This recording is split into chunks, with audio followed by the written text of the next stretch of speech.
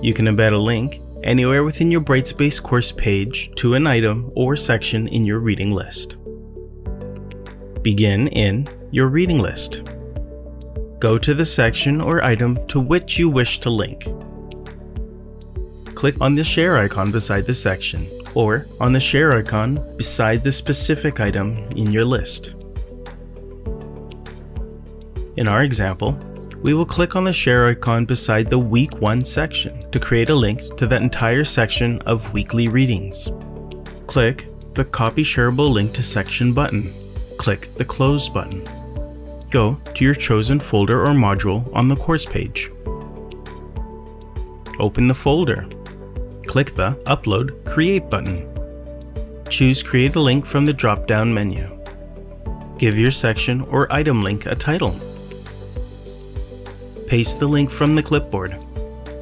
For best accessibility across all devices, you may want to ensure that the Open as External Resource box is checked.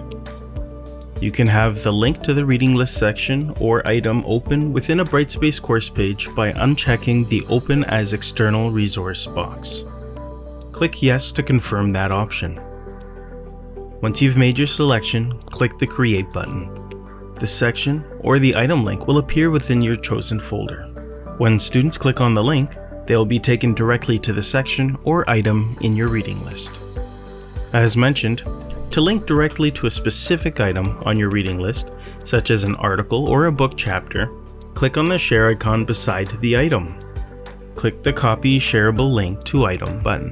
Click the Close button Follow the steps to embed the item within your chosen folder or module on the course page. You can also embed the item link within a document on the course page. The item link will open directly to the item details page. Students can see any notes attached to the item and click the read article link to get directly to the full text item. If you need help linking sections or items from your reading list to another folder on Brightspace, contact your liaison librarian.